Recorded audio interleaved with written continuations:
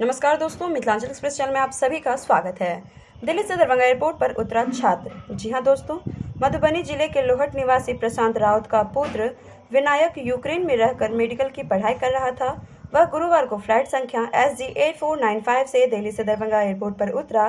दरभंगा हवाई अड्डे पर जिला प्रशासन की ओर से उप निर्देशक जनसंपर्क नागेंद्र कुमार गुप्ता ने पुष्पगुच्छ देकर उसका अभिनंदन किया।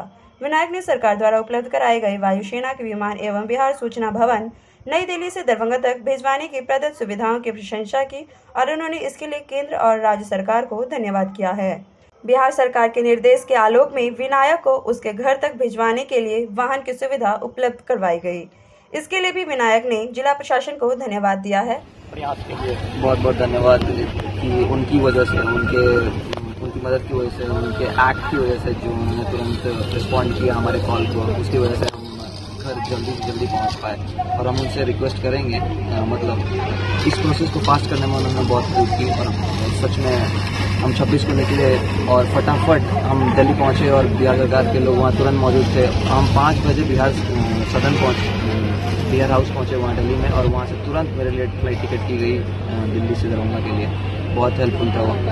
और आगे रिक्वेस्ट करेंगे हम और कि जो लोग एक्चुअली अभी वॉर जोन में हैं वहाँ पे उनके लिए कुछ स्पेशल किया जाए ताकि वो जल्दी वहाँ से निकले। सरकार इसके लिए प्रयास कर बहुत बहुत धन्यवाद धन्यवाद आपकी यात्रा मंगलमय।